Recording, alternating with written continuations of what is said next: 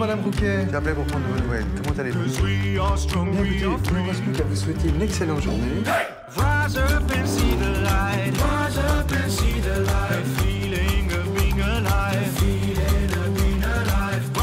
Le groupe Vive est un groupe mutualiste qui agit au quotidien pour la santé de plus de 11 millions de personnes. Groupe Vive, entrepreneur du mieux vivre.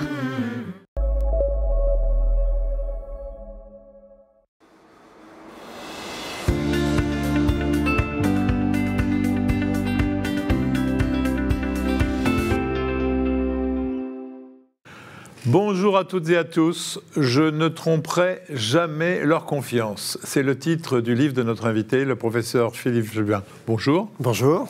Un livre qui vient de paraître aux éditions Gallimard. Cette promesse est faite aux patients, comme le font tous les médecins, puisque ce titre est un extrait du serment d'Hippocrate que nous avons tous prononcé avant de recevoir notre titre de docteur en médecine. Mais depuis cet instant, vous avez fait, Philippe, beaucoup de choses. Euh, docteur Nicolas Leblanc, bonjour. Bonjour. Euh, Vous êtes médecin de santé publique et co-animateur de cette émission. Vous nous rappelez le parcours de Philippe Juvin? Alors bonjour à toutes et à tous. Bonjour euh, Philippe Jubin. Bonjour. Vous êtes né à Orléans le 1er février 1964. Vous allez donc avoir bientôt 57 ans. Vous êtes professeur d'anesthésie et réanimation et chef du prestigieux service des urgences euh, de l'hôpital Georges Pompidou. Et à ce titre, vous avez pris euh, l'épidémie de Covid à plein fouet.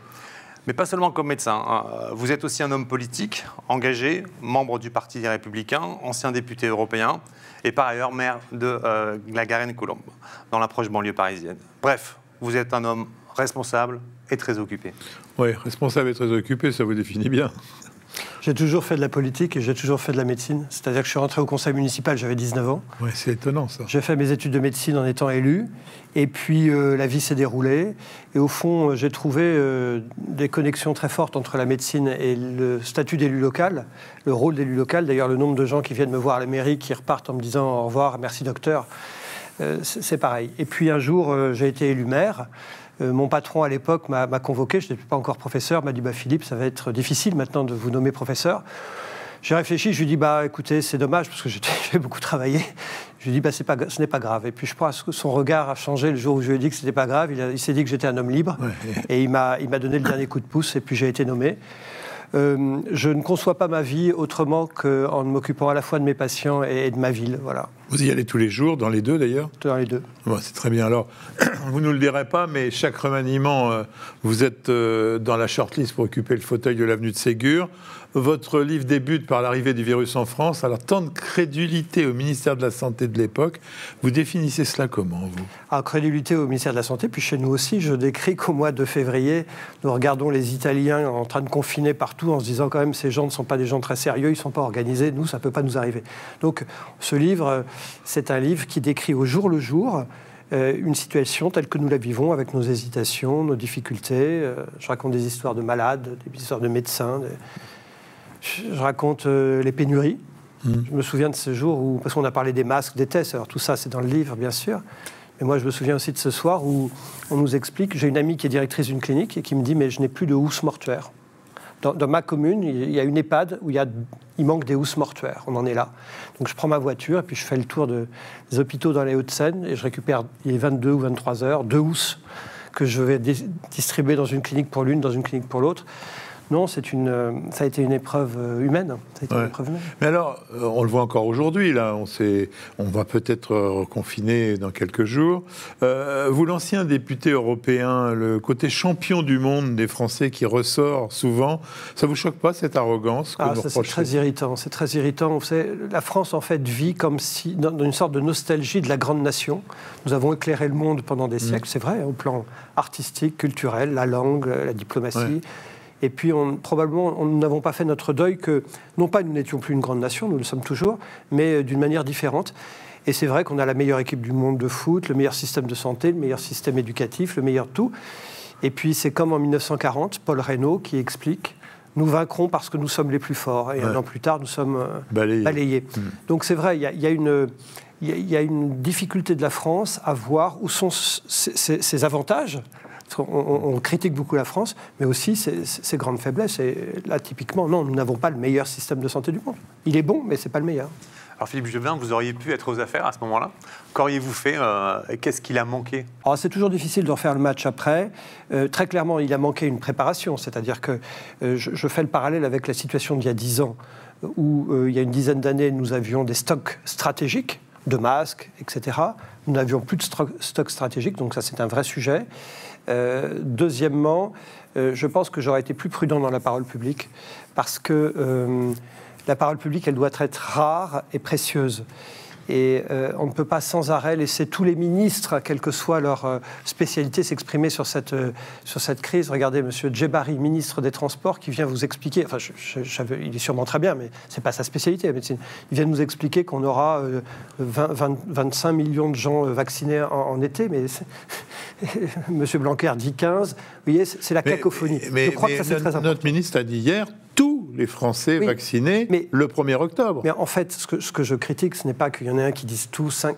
C'est que effectivement, chacun a sa, sa voix. La parole publique, elle est précieuse. Donc on ne peut pas avoir trois objectifs politiques avec trois ministres différents. Il faut que les choses soient réfléchies, parce que la confiance dont je parle, elle commence par la parole qui mais- doit être euh, euh, réfléchie. Est-ce qu'un ministre de la Santé peut mentir euh, Ah non, non, non, il ne faut jamais mentir. Il faut dire quand on s'est trompé, parce que c'est comme ça qu'on établit la confiance. Et je pense que le match politique, puisqu'il s'agit de ça dont vous parlez, aurait été très différent si, au lieu de dire ne mettez pas de masque parce que ça ne sert à rien, ils avaient dit dès le début écoutez, il n'y en a pas, donc on va les réserver à des catégories, je pense aux soignants en particulier.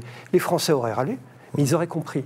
Et euh, c'est là où le truc se casse, c'est qu'on ne fait plus confiance, on ne leur fait plus confiance. Il y a eu aussi le rôle joué par, par la Chine et l'opacité euh, chinoise. Nous avons été naïfs par rapport à, à cette, euh, ce manque d'information, ce manque de transparence moi, connu. Je n'arrive pas à savoir parce que quand je vois l'épidémie monter, nous, sommes, nous sommes en décembre, je, moi, je commence à, à m'intéresser à la question en décembre. Euh, il y a quand même des publications qui sortent en janvier. Les premières grandes séries, je me souviens plusieurs milliers de patients, c'est des séries chino- chinoises. Donc je ne sais pas où ils ont menti. Euh, en revanche, je sais qu'il y a- cette discussion de savoir euh, euh, la question de l'origine du virus. Il y a un papier très intéressant qu'il faut lire dans le journal du CNRS d'octobre 2020 euh, qui, établit plusieurs hypothèses, dont celle d'une sortie accidentelle. Il n'en fait pas une hypothèse principale, hein, l'auteur du CNRS, mais c'est quand même un des sujets. Donc c'est vrai que la science, en fait, a besoin de transparence. C'est évidence. Et de confrontation. Il est normal qu'on ne soit pas d'accord. Vous savez, Pasteur disait, euh, le scientifique doit, doit avoir le doute méticuleux. C'est fondamental. Et on attend évidemment d'une société démocratique qu'elle le soit naturellement. Et les Chinois ne sont pas encore une société démocratique. Alors revenons à l'origine du virus, effectivement, vous y avez euh, fait euh, allusion. Il y a une anecdote qui a fait beaucoup de bruit en son temps, que vous évoquez en termes très courtois. Jean-François, vous pouvez c'est- peut-être revenir euh, Je- sur cet épisode parce que je sur voulais- l'origine du virus. Je voulais remercier notre invité d'avoir dit la vérité. Euh, ben, c'est très simple. hein. Un matin, j'ai un appel du professeur Montagnier. Quand on a fait ses études, pas très brillantes, mais jusqu'au bout, un prix Nobel qui vous appelle, on n'a aucune raison de ne pas le prendre au téléphone, bien évidemment. Et il me raconte une histoire euh, ahurissante de, de- de manipulation de virus. Ce virus, coronavirus aurait des séquences du virus du sida. Bien évidemment, je lui pose la question de savoir s'il est complotiste. Il me répond non. Et puis, partant de là, après, euh, euh, je me dis, tiens, je vais demander à des virologues français, des gens de, de- Et ils me disent tous la même chose. Non, non, on veut rien dire. Moi, il est, il est, il est fatigué, le professeur Montagnier, mais ils veulent rien dire. Et je me suis retrouvé à être attaqué là-dessus, alors que, un, je ne suis pas complotiste, et que, deuxièmement, euh, et vous le racontez bien. Mais ça, ça veut dire quand même une chose, c'est que depuis, on n'a pas eu beaucoup de, de, de vraies informations. Est-ce que les services secrets français, bah, vous qui connaissez un peu ça, euh, ont un rôle à jouer là-dedans pour nous pour informer? Mais alors, je n'ai, moi, je n'ai pas d'informations particuliires, mais c'est vrai que je raconte cette histoire parce que nous avons eu un échange téléphonique à ce moment-là. Je me souviens très bien, j'étais au volant de ma voiture, donc je raconte ça dans mon livre. Euh, d'abord, moi, je crois que c'est normal que vous rapportiez des faits qui vous sont rapportés par un prix Nobel. Oui. Dans ces cas-là, voilà. Euh, là aussi, dès lors que la question est posée dans l'espace public, là, pour le coup, je pense que le pouvoir politique devrait dire ce qu'il sait. Il devrait dire, ben voilà, nous n'avons pas d'informations, nous en avons, voilà euh, lesquelles. Sur- Surtout que moi, j'ai écouté d'autant plus euh, le professeur Montagnier que le, le président Macron avait donné une interview euh, au New York Times juste avant, disant qu'il avait des soupçons concernant la Chine et l'origine du virus. Donc euh, tout ça est dans le même sens. Euh, Pardon, le complotisme euh, est nourri de l'absence de confiance, de la désinformation, du fait que je me trompe et je ne dis pas que je me suis trompé. Euh, C'est ça qu'il faut comprendre, c'est ça l'enjeu. alors, il y a quand même, si on reprend le, le- le- le thème de votre bouquin, qui est de raconter au jour le jour, c'est sympa à lire. hein. Je, je- je veux dire que non, non, mais il faut dire que la vitesse n'est pas la qualité principale de nos autorités de santé. On reprend tout, les masques, les tests et maintenant la vaccination. Nous sommes toujours à la traîne. Euh, ça doit vous énerver, ça, non? Oui, euh, c'est le sentiment que j'ai eu en permanence durant cette crise. Euh, Nous sommes toujours en retard. Je raconte en particulier euh, ce mail qui m'est adressé euh, à titre d'information, mais en fait d'une manière aussi intéressée, probablement par le patron d'un grand CHU de France, et qui me met dans la boucle des discussions entre les patrons de CHU, et je comprends qu'il y a un train sanitaire qui doit partir d'une certaine ville vers une certaine autre avec des patients. Tout le monde est d'accord, le train peut partir, et le train met quatre jours à partir parce qu'il y a un, un sous-chef dans un sous-bureau d'une sous-commission, d'une sous-pente, d'un sous-ministère qui n'a pas mis le tampon ou qui refuse de mettre le tampon. Et euh, la crise va souvent être ça, ça va être une sorte de ordre contre ordre permanent. C'est pas que c'est irritant, c'est euh, absolument scandaleux. Dès lors que vous êtes en guerre, puisque c'est l'expression du président de la République, vous ne devez pas tolérer ce genre de choses. Et je fais le parallèle avec euh, un excellent livre euh, qui fait partie de la bibliothèque de tout homme de bonne volonté, qui est celui de L'étrange défaite. C'est le livre de Marc Bloch qui décrit comment, en 1940, la France pa- passe du pays numéro un au plan militaire à, à la déroute. Et il dit, en fait, nous avions un état-major de paix alors que nous aurions dû avoir un état-major de guerre. C'est à peu près pareil. Oui, surtout que là, euh, en fin de compte, on est en train de mettre le pays à genoux. Hein. C'est pas, c'est pas uniquement un petit, un petit problème sanitaire. Et alors, ce qui est absolument, parce que les conséquences sont majeures, économiques, sociales aussi. Euh, ce qui est en revanche totalement inexplicable, euh, parce que dans ce livre, en fait, moi je prends la défense de Véran. hein. Véran est nommé en février, le malheureux, il prend le truc sur la tête, il n'est pas prêt. Enfin, il, il y a un héritage lourd. En revanche, je vous avoue que je suis beaucoup plus sévère aujourd'hui, parce qu'autant je comprends qu'on puisse éventuellement ne pas être tout à fait prêt au mois de mars, ce qui est incompréhensible, c'est que nous ne soyons pas prêts neuf mois plus tard, alors que, pour le coup, s'il y a un truc qu'on sait qui va arriver, c'est la vaccination. Bien sûr. Alors vous êtes un homme politique et un, un homme de science. Qu'est-ce qui ferait qu'on peut réconcilier les deux dans des processus euh, efficaces? Les vous- deux. Le- les médecins, la science et puis euh, la décision Le, politique. le binôme pouvoir médical et pouvoir politique. Bah, c'est la confiance, c'est-à-dire qu'il faut que les, les pouvoirs publics fassent confiance aux médecins. Je vois très bien à l'hôpital. Euh, l'hôpital, brutalement, s'est mis à très bien marcher. Pourquoi? Parce que nous avons commencé à utiliser des procédures qui ne sont pas les procédures habituelles. Il y a le directeur habituel qui est là pour faire son job, mais euh, nous sommes dotés tous d'un directeur médical. Et rendez compte, moi je suis chef de service depuis 2005, Je fais- j'ai été chef de service à Beaujon, puis maintenant à Pompidou. Je n'avais jamais eu une discussion d'ordre médical avec ma direction depuis 15 ans. Jamais. C'est la première fois que je pouvais avoir avec la direction, via le directeur médical, une discussion médicale sur le mode euh, tel type de patient, je pense qu'il faut les prendre en charge plutôt comme ça que comme ci, et donc j'ai besoin de tels moyens plutôt que de tels moyens. C'est- C'était génial de, de pouvoir avoir une telle discussion. Oui, il nous manque euh, une part médicale dans la direction des affaires. Alors, vous êtes un, un visiteur du soir. Est-ce que vous avez senti à, à ce titre-là euh, la solitude du pouvoir? J'ai senti que le président de la République était seul, ça assurément. Euh, oui, assurément.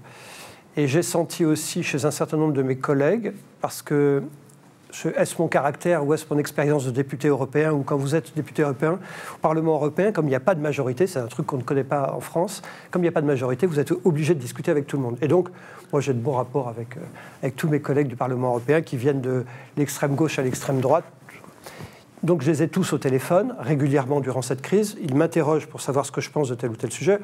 Moi, euh, je suis un homme de, de droite, je suis membre des Républicains, mais je donne les informations que j'ai à tout le monde parce que c'est important que les gens qui peuvent participer à la bonne marche de mon pays soient informés.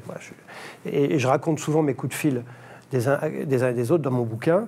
Euh, je m'aperçois qu'il y a un manque de formation scientifique du personnel politique. En fait, ils ne savent pas ce qu'est la science. Ils ne savent pas que la science, c'est euh, de la confrontation d'idées. C'est comme ça que ça progresse. Euh, je suis frappé de la pauvreté de la, de la formation scientifique. Et voyez, au fond, je me suis demandé si l'Allemagne s'est mieux débrouillée que nous. Est-ce qu'il n'y a pas une partie qui est liée au fait que Mme Merkel a une formation scientifique? C'est-à-dire qu'elle sait qu'il faut euh, discuter avec l'autre pour progresser. Alain, le philosophe, disait quand dix personnes pensent la même chose, se réunissent, elles ne pensent plus.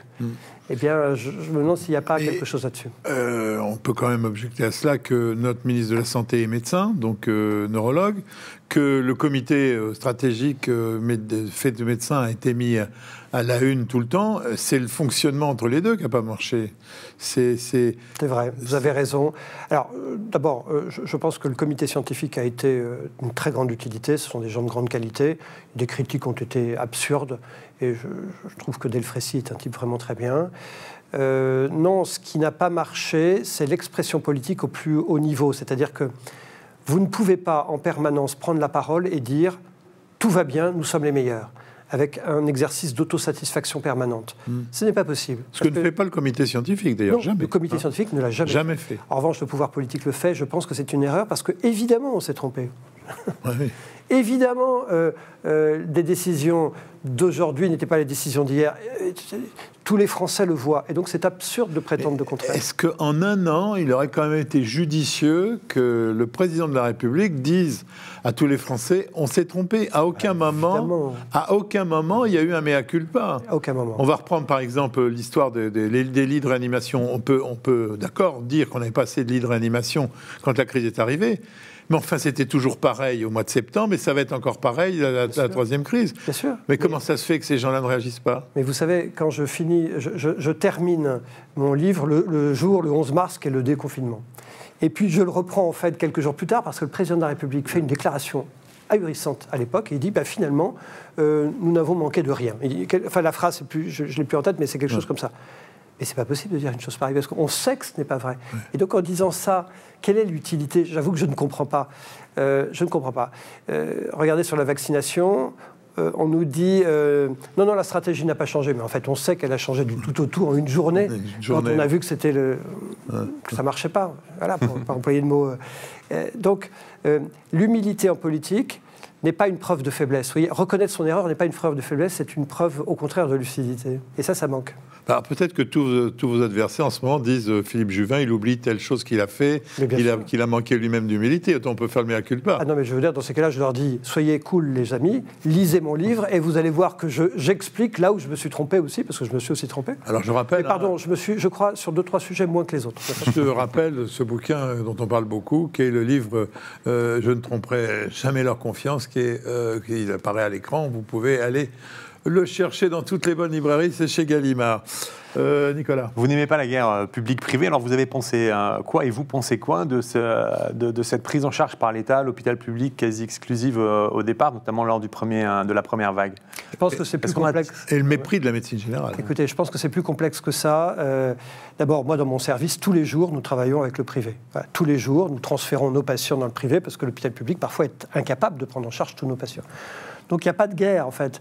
Euh, ce n'est qu'une affaire de personnes. Et on s'est aperçu que rapidement, le public et le privé ont bien travaillé parce que nous avions nos réseaux. Nous connaissions Machin qui était dans le privé et qui allait nous aider. Euh, le médecin, euh, le généraliste du 15e arrondissement de Paris, puisque mon hôpital est dans le 15e, m'appelait en disant J'en ai un qui va pas bien. En fait, je pense que cette guerre publique-privée est entretenue par ceux qui ont intérêt à ce qu'elle soit entretenue, c'est-à-dire tous les gens qui vivent de structures euh, un peu institutionnelles. euh, mais sur le terrain, les gens s'entendent bien. D'ailleurs, franchement, par définition, vous savez, tous les gens du privé sont passés par le public pour être formés. Oui, c'est vrai. Alors, euh, très vite, on s'est aperçu que la centralisation des décisions, c'était pas bon. L'État dit on va changer. En fin de compte, il y a eu des allers-retours, le coup de Marseille, tout ça, on a montré que ça ne marchait pas. Mais on a quand même mis euh, euh, l'Agence régionale de santé euh, au centre du dispositif. Et en fin de compte, comme vous le dites, ça dépend complètement de la personne qui dirige l'ARS. Oui, on, a absolument. C'est une, c'est une question de personne. En Ile-de-France, on a un très bon directeur général de l'ARS, un type. Tout le monde le dit. Ouais, c'est un type remarquable qui bah, il s'appelle Aurélien Rousseau, puisqu'on Ouais. est bien de lui autant dire son nom. Euh, il connaît bien les choses. Mais pourquoi? Parce qu'il a aussi une carrière. Il a fait à la fois de la politique dans son passé, il a fait de la santé. Donc c'est quelqu'un qui a une grande expérience. Mais ce n'est pas suffisant. Je veux dire par là que dès lors que les structures ne fonctionnent que grâce à la qualité personnelle euh, Ouais. de la personne qui les définit, c'est que peut-être qu'il y a un problème dans la structure. Moi, me semble-t-il, les agences régionales de santé, qui ont été montées d'ailleurs par ma propre famille politique à l'époque, étaient plutôt une idée intéressante. Je vous rappelle qu'elle remplaçait les agences régionales de l'hospitalisation, donc elle se voulait plus euh, euh, multifocale, euh, parlant à tous les acteurs de santé. Malheureusement, elles ont gardé une culture très administrative. Elles, se elles sont devenues un peu obèses. Euh, il y a beaucoup de monde. Euh, on n'en a pas vu toujours dans toutes les régions l'extrême agilité. Et je rappelle que le président de la République lui-même a dû sanctionner des ARS qui, au contraire, étaient devenues bloquantes. Donc, euh, moi, je crois que l'évolution, si on veut tirer une leçon, une des leçons qu'on veut tirer, c'est qu'il faut qu'on dé- décentralise le système. Je crois que les ARS doivent ne plus être des agences de l'État, devenir des, structures au service de la région, du président du conseil régional, que les hôpitaux, les cliniques, le système hospitalier doit devenir une compétence régionale. Vous savez, le jour où les lycées sont passés de la compétence de l'État à la compétence des régions, ils sont devenus mieux entretenus, plus propres, plus modernes. C'est pareil pour les hôpitaux. Et la place des collectivités euh, territoriales euh, euh, les plus proches, comme les mairies, qui finalement, elles, euh, ont les coups de fil des pharmaciens, des médecins, pour pouvoir prendre en charge les patients, Les patients. qui se retournent vers les maires, vous êtes bien placé pour Les le patients. savoir. Quel pourrait être leur rôle là, Il y, a, là-dedans bah, il est fond- alors, il y a un grand débat en France qui est de dire il y a trop de maires. Vous savez, il y a 36 000 communes et on dit ah, il y en a trop. Et tout ça est absurde. D'abord, ça ne coûte pas grand-chose. Et deuxièmement, c'est très efficace. C'est ça qui maintient le lien social. Un des drames de la France, on le voit bien aujourd'hui, ce sont les séparatismes. C'est-à-dire que tout le monde se recroqueville sur euh, sa petite identité, son quartier, son machin. Les maires sont les seules personnes, ce sont des remparts justement contre la bunkérisation des Français. Je l'ai vu durant cette crise, j'ai été autant euh, utile à l'hôpital que dans ma mairie. Dans ma mairie, on a mis en place en quelques jours euh, un centre d'appel pour faire en sorte que les gens qui étaient seuls ne se retrouvent pas seuls. Camus disait les villes sont des déserts d'hommes. Eh bien, les maires cons- contre cette désertification humaine. Nous sommes des liens sociaux. Donc, moi, je crois que, accessoirement, si nous avons eu des masques collectivement, c'est parce que les régions, les communes s'y sont mis, ainsi que la grande distribution, ne l'oublions pas. C'est pas l'État. L'État ne nous a rien apporté. Et s'il y a eu un lien et des gens qui n'ont pas été totalement abandonnés à leur grande solitude durant le confinement, c'est grâce aux maires, parce que nous étions présents. Alors, on va revenir au début de l'épidémie, puisque votre bouquin quand même couvre toute cette période-là. Et au chef des urgences, on comprend très vite, euh, dès le début de la première vague, le désarroi qui s'installe. Vous avez toujours eu confiance et jamais perdu espoir? Alors, durant cette première phase de confinement, et je pense que beaucoup de soignants le raconteront, nous étions portés par euh, un esprit euh, de combat. C'était un peu romantique. Nous étions portés par le soutien de la population. L'affaire des applaudissements de 20 heures, c'était quelque chose d'important. Donc, ça nous servait beaucoup. Nous étions motivés par cela. Euh, non, donc il n'y a pas eu de découragement, je pense, durant cette première vague. Le découragement est arrivé après, quand on a vu que rapidement tout ce qui avait bien fonctionné comme circuit, qui s'était devenu euh, des circuits courts de décision, qui fonctionnaient, retombait dans le train-train d'un hôpital très administratif, euh, et puis, puis des, soignants qui ont été blessés, fatigués, usés. Donc euh, c'est plutôt après que c'est arrivé. Euh, Vous parlez d'ailleurs des applaudissements. euh, il est clair que les soignants, là, si on confine, ne demandent pas qu'on les applaudisse. euh, le- ils ont eu la, le, le Ségur de la santé qui a été quand même une, une pantalonnade pour eux, vu, vu comme ça.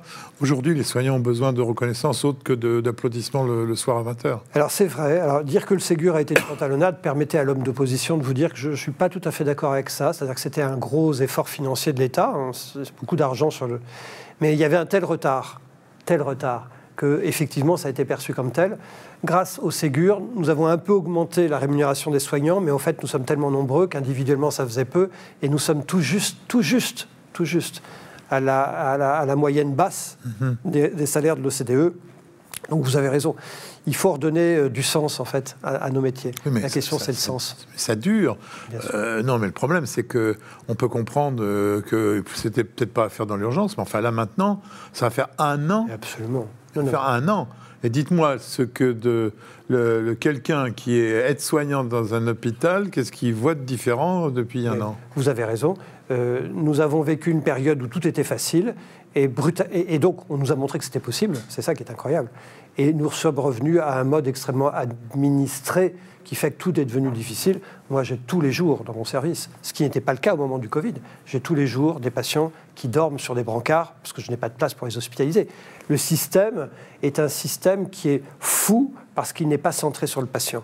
Et connaît des centaines de milliers de lits fermés en France, alors que nous avons besoin de lits d'hospitalisation est quelque chose qui est, qui est é- épouvantablement euh, déconcertant. Ouais, cela dit, euh, l'état de notre système de santé, euh, c'est pas euh, le président Macron qu'on est responsable. hein.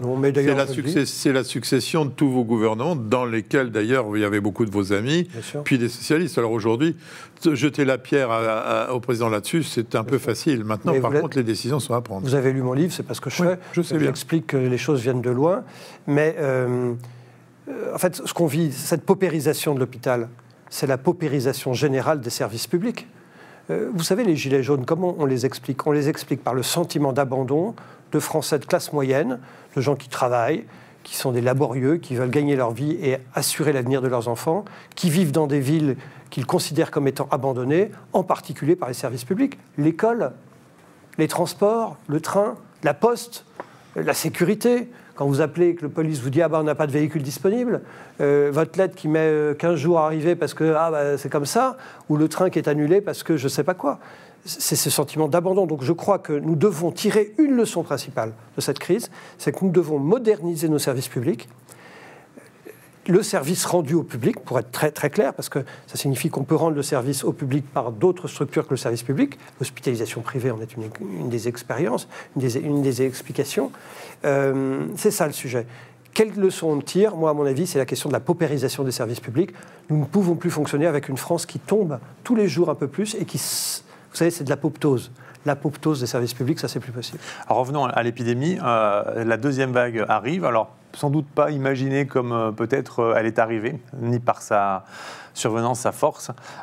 Est-ce que vous constatez le- le- toujours ce, ce dénouement dans, dans- dans vos pratiques? Il y a eu des, des milliers de lits de réa euh, promis. Est-ce qu'ils sont là? Est-ce que vous avez maintenant, vous êtes équipé? Est-ce que vous pouvez faire face? Non, mais c'est ça qui est aussi détestable, c'est que le discours politique fait croire aux Français qu'on a créé comme ça des lits de réanimation. On n'a pas créé de lits de réanimation. On a pris des lits d'hospitalisation qu'on a retirés à l'hospitalisation, qu'on a repeint en lits de réanimation en catastrophe, et on dit, regardez, on a créé des lits de réanimation. Mais la conséquence, c'est que j'ai moins de lits d'hospitalisation. Et c'est pour ça que j'ai des patients sur mes brancards la nuit, avec euh, des gens très âgés, euh, qui sont sur des pathologies euh, de, de dépendance, et qu'on n'arrive pas à hospitaliser. Donc, non, nous n'avons pas plus de moyens, bien entendu. J'ose même vous dire qu'on en a probablement moins qu'au mois de mars, parce que nous avons des soignants qui sont fatigués et usés. Et donc vous abordez la troisième vague, puisque nous sommes vraisemblablement dans la troisième vague. Avec quel, dans quel état? Avec un état de fatigue. Je pense que nous devrions aller très rapidement vers un confinement pour ne pas vivre ce qu'ont vécu les Britanniques qui s'y sont pris trop tard. Euh, D'ailleurs, je ne comprends pas pourquoi on attend. Bon, bref. Et si nous ne le faisons pas, ça veut dire quoi? C'est que nous ne voulons pas prendre une décision politique parce qu'elle est difficile à prendre. Mais ce qu'on attend des hommes politiques, c'est pas qu'elles prennent la décision qui plaise, c'est la décision qui soit Là, là, il- là, il manque singulièrement de courage, d'autant qu'on dit que la plupart, la majorité des Français euh, attend ce, ce- ce troisième confinement. évidemment, il ne faut pas attendre. Regardez les Britanniques, ils ont attendu, ils sont submergés. Et en tant que médecin, c'est quoi la conséquence médicale que vous allez voir, que vous, pré, que Ah ben, vous en fait, plus vous prenez la décision de confinement tard, plus la vague est haute et plus elle est durable. Donc c'est pour ça que si nous la prenions un peu plus tôt, cette décision, qui est compliquée politiquement, je ne dis pas, mais la politique, si vous ne voulez pas faire un job compliqué, vous faites autre chose, voyez. Euh, il faut prendre la décision tôt pour essayer d'avoir un confinement le moins dur possible. Je crois qu'on est à 25 000 euh, patients par, enfin, contaminés Jour. par jour. Euh, repasser de 25 000 à 5 000, c'est plus facile que de repasser de 40 000 à 5 000. 5 000, oui. C'est pour ça qu'en fait, il faut probablement confiner rapidement. Mais c'est vrai, je ne vous le cache pas, ce que je vous dis là, c'est une parole de personnalité politique qui est responsable et de médecin. Mais euh, nous, appréhendons cette période avec crainte parce que les soignants sont fatigués et usés, parce que nous n'avons pas plus de moyens. Quand vous dites que métier de politique, euh, politique est un métier difficile, bon, ça peut faire sourire beaucoup de gens, hein, parce qu'on a l'impression que quand vous tirez des conclusions simples, c'est plus facile de passer de 25 000 à 5 000 que de 50 à, à 5 000. Ben, un, enfant du primaire est capable de faire ce truc-là. Et on va me dire que les hommes politiques ne font pas ce genre de déduction. Non, ce que je veux dire, c'est que... Par croardise, par peur d'être attaqués plus tard. Ils ont Alors- toujours peur du procès. Hein. Oui, oui, bien sûr. Mais ce que je veux dire, c'est que je ne jette pas la pierre aux hommes politiques quand euh, ils ont à prendre des décisions difficiles, et je les applaudis plutôt. D'ailleurs, c'est aussi ce que j'écris dans mon livre. Et plusieurs fois, j'ai échangé avec le président de la République en lui disant, écoutez, voilà, moi je vais vous soutenir sur cette affaire si vous prenez cette décision difficile. Non, la, la politique, c'est difficile. Ah, vous- C'est difficile parce que c'est aussi ingrat. Vous avez dit que, euh, évidemment, on est toujours critiqué. Mais encore une fois, si on ne veut pas être critiqué, si on a peur des procureurs, comme le dit le président de la République, on ne fait pas de la politique. D'accord. Vous dites alors en octobre, c'est la date de livraison de votre manuscrit. hein. Vous, pour vous, Oui. vous avez livré le manuscrit, c'était fini. Je l'ai écrit en, en- août. J'ai terminé euh, dans mon petit village. Je suis reparti cinq jours en Corse, m'enfermer en septembre. J'ai fait des corrections en octobre et il est sorti en octobre. Donc euh, vous dites euh, à la fin de ce manuscrit, nous avons perdu les premières batailles, gagnerons-nous la guerre? Votre réponse est oui, à une condition indispensable que nous sachions tirer les leçons de cette étrange défaite. Fin de citation. Euh, à cette époque, on ne voyait pas l'arrivée de l'arme atomique, le vaccin, hein, qui, est, qui est arrivé si vite. On savait que ça allait arriver. Oui. Dans les tuyaux, il y avait les essais cliniques. Oui, je suis d'accord, mais on ne savait pas qu'on allait livrer, qu'on allait vacciner. Qui aurait dit, même en octobre, qu'on vaccinerait le premier malade à la fin du mois? De, de décembre, quand même Ah, je ne suis pas d'accord avec vous. À, à ce moment-là, on commençait à se dire que ça allait arriver. Ouais, donc, que les Russes et les Chinois donc, donc d'autant plus, euh, la critique est d'autant plus aisée, maintenant vous me la donnez, encore plus facile à faire. Si en octobre vous étiez persuadés, les hommes politiques, que euh, le vaccin allait arriver si vite, euh, pas- pourquoi on a un démarra- démarrage si lent Ah non, de la... Ah non, mais alors, en novembre, enfin, le 20 novembre, les vaccinodromes commençaient à être construits en Allemagne, le 20 novembre. Donc euh, l'impréparation française le 1er janvier est incompréhensible. Euh, Il y, a- il y a une explication qui est de l'ordre psychologique. C'est que le ministre s'est dit, au fond, les Français ne sont pas prêts à la vaccination, donc je ne vais pas les pousser, je ne vais pas prendre de risques politiques. D'autant plus que s'il y a des effets secondaires six mois plus tard, je ne veux pas être celui qui a poussé. Et donc, c'est aussi pour ça, je pense qu'il a été, trop prudent et pas très courageux.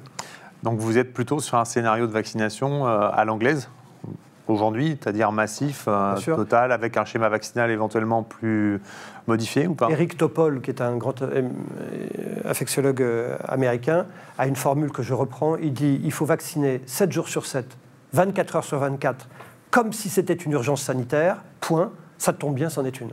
Moi, je crois ça. Je crois à la technique israélienne. On vaccine à toute vitesse parce que c'est une course de vitesse. Et vous savez très bien que si on ne vaccine pas assez vite, les variants qui sont en train de se développer vont courir Euh, encore plus vite, vite, oui. avec des risques d'apparition de résistance qui ne sont pas avérés, heureusement pour le variant anglais, mais qui pourraient l'être si on le laissait courir. Mais vous parlez d'Israël qui, en ce moment, est en train de faire une, une- une expérimentation clinique euh, épidémiologique intéressante, puisque euh, on sait qu'il y a un accord avec Pfizer et que Pfizer considère que c'est l'endroit où on va voir si l'immunité collective peut, peut faire. Ça veut donc dire que euh, Israël a toutes les doses qu'elle a envie pour mener sa politique. Et pourquoi on n'a pas fait pareil? Ah ben, justement, l'excuse qui arrive, on la sent venir, c'est ben oui, mais Sanofi, euh, ça n'a pas marché. C'est une excuse, ça? Non, ce n'est pas une excuse. Quand vous gouvernez, vous devez prévoir. Et prétendre qu'on va vacciner la population avec, euh, en faisant le pari d'un vaccin, en l'occurrence Sanofi, qui finalement ne va pas arriver, mais pour des raisons que je comprends. Sanofi a un processus de recherche et ils ont raison de prendre leur temps. Euh, ce sont des gens sérieux, vous voyez, moi je ne les blâme pas du tout. Pas du tout. Je ne suis pas de ceux qui blâment euh, Sanofi pour cette affaire-là. Simplement, je blâme nos gouvernements européens de ne pas avoir donné les moyens de se dire moi je veux à tout prix pouvoir vacciner la population en trois mois. On a euh, acheté un peu de vaccin à tout le monde. Ben, un peu, suffit. dès lors qu'il y en a un qui ne vient pas, ça ne suffit pas. Mais- les Israéliens, ils sont arrivés. Dites-moi, vous dites que ce Sanofi, c'est sérieux. Ça veut donc Ah oui. dire, dans votre esprit, Moderna, c'est pas sérieux C'est une petite, euh, petite start-up dirigée par un Français qui est parti de France parce qu'il n'arrivait pas à trouver les moyens de faire son truc. Euh, oui, de temps en temps, vaut mieux être euh, en bonne forme que trop lourd, quoi. Non, non, mais en fait, euh, Sanofi d'un côté, Moderna de l'autre, ont fait des choix technologiques qui sont différents. Euh, on aurait été très content de trouver Sanofi si le choix de l'ARN messager de Moderna n'avait pas fonctionné. Imaginez que finalement les essais n'aient pas montré. Donc, il, est, était intelligent d'avoir, et, surtout euh, sécurisant, d'avoir plusieurs voies de recherche. Simplement, ce que je conteste, c'est qu'on s'est dit, ben, on va acheter un peu de vaccin à tout le monde, ce qui est idiot. Il fallait acheter 100% de vaccins à tout le monde. Alors vous me dites, mais qu'est-ce qu'on aurait fait de tous ces vaccins en plus? Ben, Je vais vous dire, on est suffisamment nombreux sur la Terre, les vaccins, on les aurait toujours On les aurait réussi à les redonner. compte- compte tenu Et on du- aurait aidé les pays qui ne peuvent pas Non, les acheter. attendez, il y a un chiffre qu'on ne dit jamais, c'est que le coût de la vaccination de tous les Français, qui est de l'ordre, on va aller, on va dire 2 milliards d'euros, à côté de la facture 300 milliards. de 300 milliards, on pouvait garder des, garder des- Voilà. des- des vaccins. Vous avez résumé la situation. Alors, on nous a raconté qu'il fallait sauver l'hôpital avec toutes les mesures que- qui ont mis l'économie à genoux. Euh, ça, peut, ça peut durer combien de temps cette menace-là? Les gens en ont marre qu'on leur dise on fait toujours ça pour sauver l'hôpital. Ah, les gens sont très fatigués, hein, et nous, les soignants aussi, mais les, Français sont fatigués. Il faut qu'ils aient des perspectives de sortie. La première perspective de sortie, c'est que, encore une fois, nous vaccinons très vite la population. Il faut se fixer un objectif de quelques mois.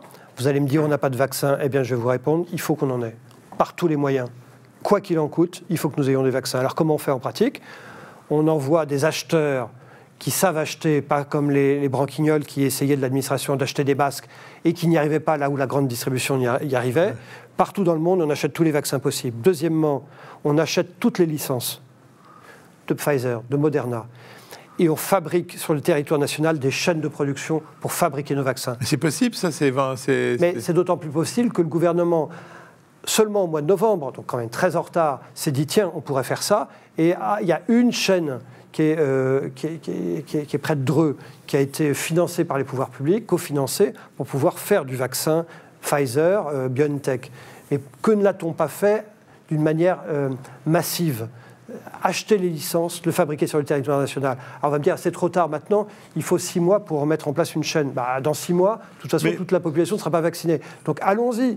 Et, et troisièmement, il faut avoir aussi euh, de l'agilité dans la prise de décision politique. Aujourd'hui, comme vous le savez, les vaccins sont autorisés par l'agence européenne. Eh Bien, moi, je dis simplement que l'article 168 du TFUE, traité de fonctionnement de l'Union européenne, permet à, l'Union de prendre des décisions pour lutter contre les grandes pandémies. Eh bien, je souhaite que le Conseil, c'est-à-dire les chefs d'État, disent à la Commission désormais, nous acceptons à titre exceptionnel toutes les autorisations de mise sur le marché des vaccins contre le Covid prises par des pays qui sont des pays de même standing Canada, États-Unis, Grande-Bretagne. Ça signifie qu'on n'attend pas la décision de l'agence européenne. Dès lors que les Anglais ont décidé que AstraZeneca était bon chez eux, il est bon chez nous, etc. Il est toujours pas bon chez nous, hein, c'est ça qui Mais non, c'est- ça qui c'est toujours lent. Donc, il y, a- il y a des manières d'agir, simplement, il faut qu'il y ait un gars qui prenne les choses Mais- en main, mais je ne sais pas où est le chef. Je pense que notre ministre de la Santé euh, a les mêmes idées que vous, puisqu'il Ah bon? vient de dire que tous les Français seraient vaccinés euh, au 1er septembre. Ça veut donc dire qu'il va prendre toutes les mesures que vous donnez?